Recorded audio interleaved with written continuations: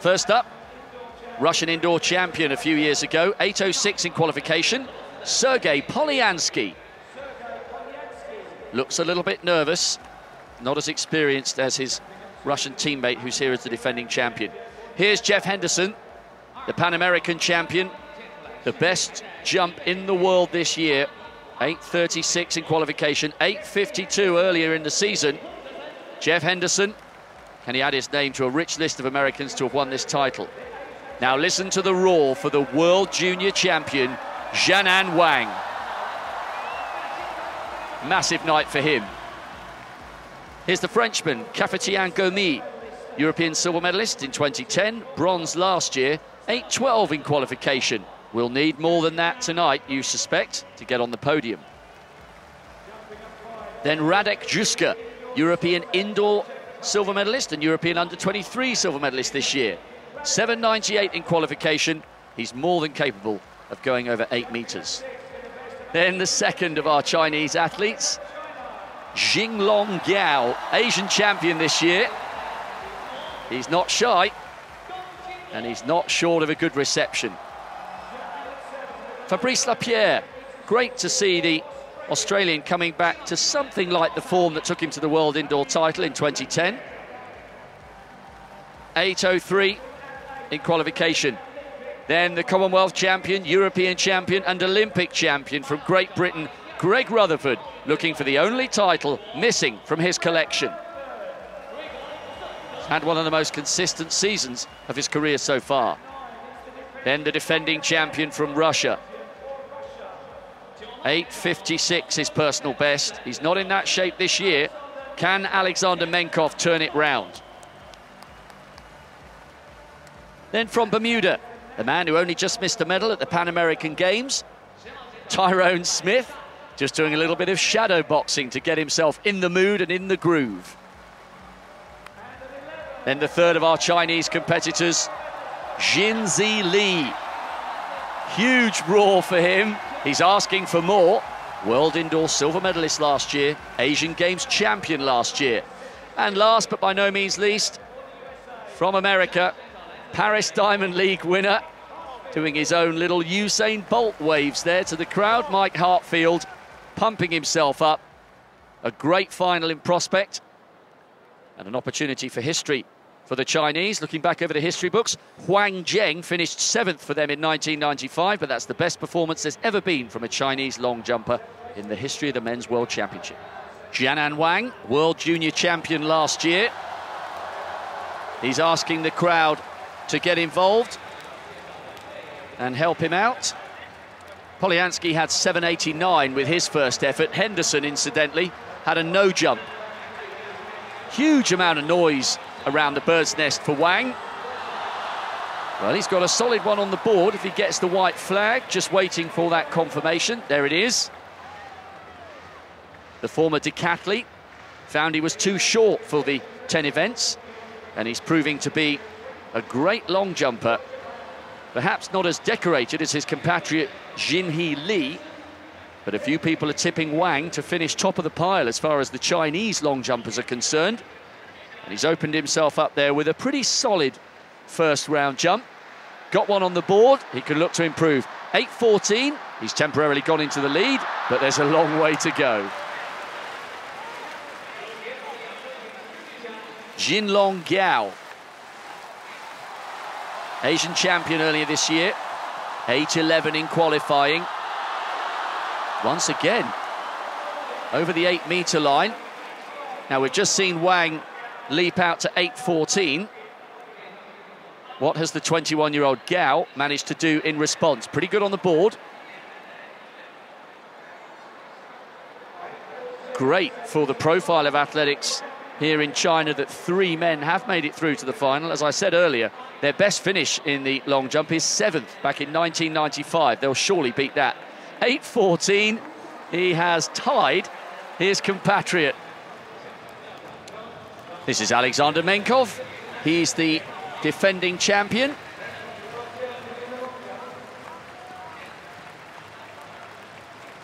The Russian has had a fairly average season.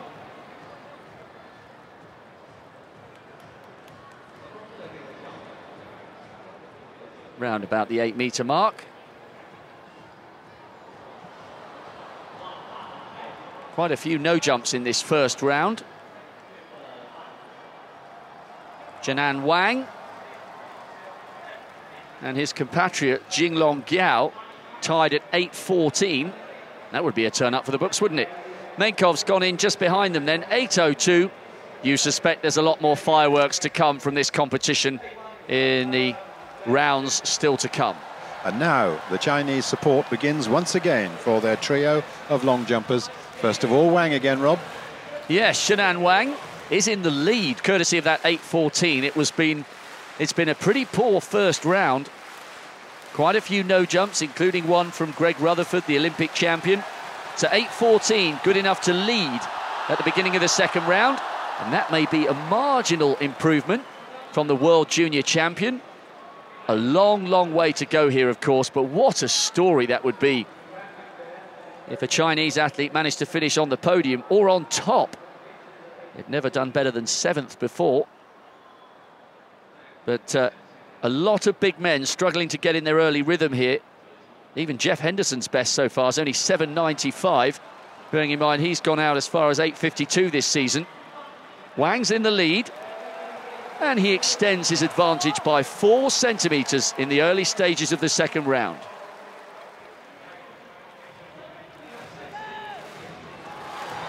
Now, Xinglong Gao asking for the crowd to help him once again. He was tied with his compatriot at 8.14. He's just seen that advantage go out by another four centimetres. No improvement there. He's putting together a fairly consistent series. Gomis, by the way, the experienced Frenchman's had two no jumps so far, so he's got one further effort. It's been good by the Chinese jumpers in terms of their accuracy on the board. Wang leads with 8.18. Gao will stay in second place so far. There won't be any improvement there on his 8.14 from the first round. Greg Rutherford, the Olympic champion, had a big no jump in the first round. This has been one of the most consistent seasons we've seen from the multiple major championship gold medalist, and that was much better from Rutherford. He's been in excellent form this season. He had a cracking Diamond League at Stockholm, backing up an 8.34 with an 8.32. He's almost certain to go into the lead here. No Briton has ever finished higher than fifth in the World Championship long jump, and that was Rutherford back in Berlin in 2009. 8.29, the Olympic champion has laid down a brilliant marker here in the second round. Fabrice Lapierre He's living dangerously here. He's uh, 785. He's only just at the moment in a position to give himself a further three jumps. The former world indoor champion needs, needs to improve here to make sure. Little stutter into the board. Well, that's at least better. Other than Greg Rutherford's 8.29, it's been a fairly low standard, to be honest. The officials just having a look. That, that plasticine's come in for some real close inspection over this World Championship with Katarina Johnson-Thompson's no jump. Marquis Dendy going out, missing by centimetres. Oh, my goodness me. that was so tight, but that time I think we could almost see the indentation there, yeah, couldn't I, we, actually? I, well, I'm not an official, but I would say that's no closer or further away than some of the other jumps that have been given a red well, flag. almost identical, but it, I think we could see a mark, though. That's it, it, looks exactly the same as Dendy and Johnson oh, Thompson, and they've both gone. Yep. Anyway, that did count, and Lapierre has moved up to 8.10. Now, this is Jinzhe Li, the world indoor silver medalist last year. And if he jumps further than 795. That will deny Jeff Henderson, the best jumper in the world this year, an opportunity to continue his quest for gold. Huge moments here. The crowd doing everything they can. The Chinese are in second and third behind Greg Rutherford. Can Lee join them? Massive roar, and that could be significant for a number of reasons, not least of which he could get himself another three jumps, and it looks as though he has done that. His previous best was 769. And if he's moved up into the top eight, this is why the cameraman's focusing on Jeff Henderson. If it is confirmed, and I think it will be, above eight metres, Henderson's quest for gold will be over, and Greg Rutherford will have another couple of toes in his quest for gold. What a event this is turning out to be for the Chinese. Jianan Wang's in second place with 8.18. Xinglong Gao's in third with 8.14. What a competition and what shock it would be for the Americans. He knows it was better. Well, Xinglong Gao, courtesy of his first round performance of 8.14, is still in third place. Fabrice Lapierre's in fourth with 8.10. It hasn't been a sparkling standard. Both Americans have gone. Jeff Henderson and Mike Hartfield. Zhao getting roared on by the crowd. That is absolutely huge, but he's got the red flag. Oh my goodness me. Pulses were racing there. The lead's 8.29 with Greg Rutherford, the Olympic champion, once again proving so consistent. So Greg Rutherford in the lead, courtesy of that second round jump of 8.29. Both the Americans have gone. Is he wrapping up this competition? Oh, it's another great performance from the Olympic champion. He is so good at peaking come the big occasion. Had a tough year in 2013 after winning the Olympic title on home territory, perfect on the board. And last year, in the space of two weeks, he showed brilliant maturity to become the Commonwealth and European champion, aiming to become only the fifth Briton to hold all four major titles at the same time. Yes, 8.41, he extends his lead. He is just so good when it comes to the major events. Asking the crowd to respond. We knew he was in good form, 8.34 and 8.32 in winning the Stockholm Diamond League. He's halfway there. And that's his best performance in a major championship. So, Jianan Wang and Xinglong Gao are in second and third. What can Jinzhe Li produce here? Another jump over eight metres. Rutherford by far and away clear from the rest of the field. Wang in second and Zhao in third with 8.18 and 8.14, miles, miles behind the Briton. Well, I mean, wonderful performance for Rutherford. But it's terrible otherwise. I mean, the is. qualifying standard was 8.15. It is a poor competition, only Rutherford delivering anything close to his best. A brilliant jump by him. And the Chinese are going brilliantly. Li in fourth, his two compatriots Wang and Zhao in second and third. Now, Fabrice Lapierre coming something close to the form that took him to the world indoor title. Can the Australian get in the mix? Well, that looks a bit better. 8-10 in the third round. That had him in fifth place overall. He could break some Chinese hearts here. Wang and Zhao were occupying second and third with 8-18 and 8-14, with Lee, the other Chinese athlete, 8-10 giving away a little bit on the board. Greg Rutherford's miles out front with 8.41. Can the Australian give himself a chance in what is Rutherford apart, a very low standard here? There's an opportunity, bearing in mind the marks that are on the board, to get himself a medal here without jumping a huge distance. Still waiting for that mark to register he was shaking his head, but that may well be at least as good as his 8.10. He only needs to find another eight centimetres to get amongst the medals. 8.20, and that is good enough for second place. Wang stays third, Zhao knocked off the podium.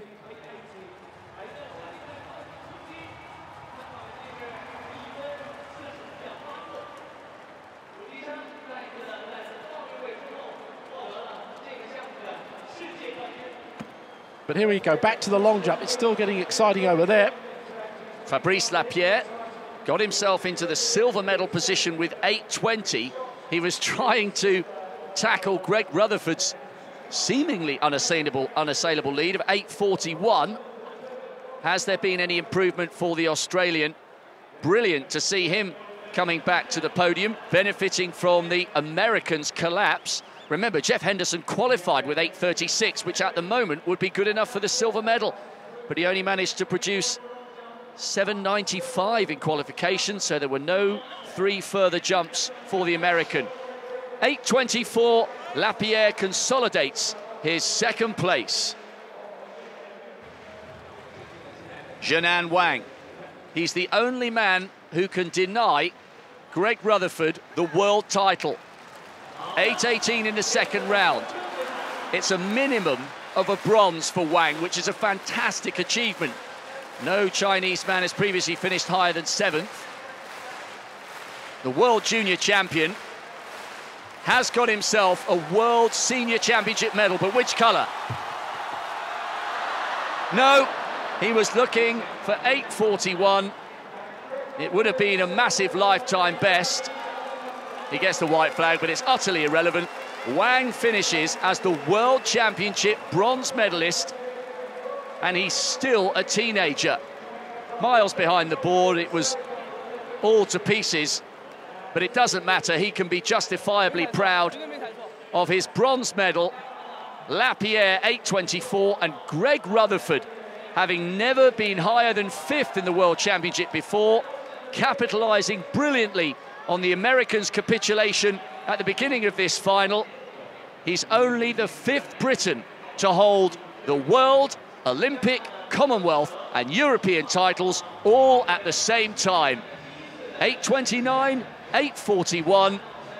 He's getting himself a reputation as a fantastic major championship performer. He was just being asked there if he's going to go for his last jump. He's not interested. He's got the Union flag. Oh, it's a Union waistcoat, I beg your pardon. He's going to put that on. It's a good sport. He now must go down as one of the great British athletes in history.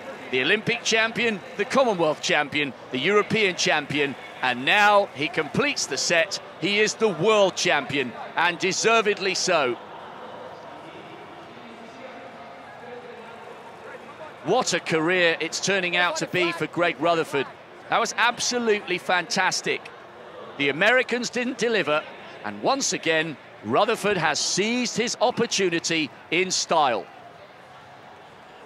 Oh, marvellous. And who would have believed that the 34-year-old Lapierre would uh, come through and for silver? I think you'd have got long odds on that one as well. The Australians weren't expecting it. Well, bearing in mind his season's best was 8.16, but such was the low standard, he only had to improve on that by 8 centimetres. But at least he did in the last two jumps, which is fine competitive effort.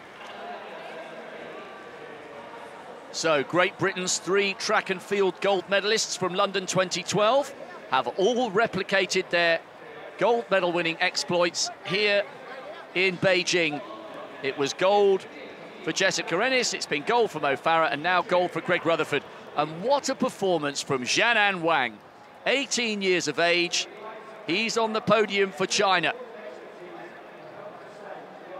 Greg Rutherford will be on all the front covers of the newspapers back in Great Britain tomorrow. And I fancy this fella will be fairly prominent in the Chinese press tomorrow as well. I'm sure Fabrice Lapierre is somewhere celebrating. Rutherford, the supreme major championship performer, 8.41. That is one of his best jumps in history. And a warm embrace for Fabrice Lapierre, who himself will be delighted to be back in the global frame after a difficult couple of seasons. World indoor champion back in 2010, but he's had a tough time since then. And the Australian athletics fraternity will be delighted to see him pick up a world championship silver.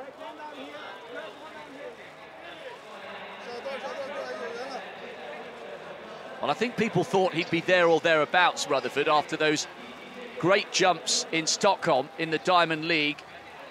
But uh, with the Americans coming in here with an 8.52 from Jeff Henderson, victory was far from guaranteed, but Rutherford has delivered in style once again. He's a really likeable character, actually. He's quite a modest man. Had a runway built in his back garden by his dad so he could keep training hard but spend some time with his young son Milo. And he's got uh, a World Championship title to take back. Greg Rutherford completes the set. The Olympic champion, Commonwealth and European champion is now the world champion. Fabrice Lapierre the silver and Jianan Wang, the teenager from China, picks up the bronze.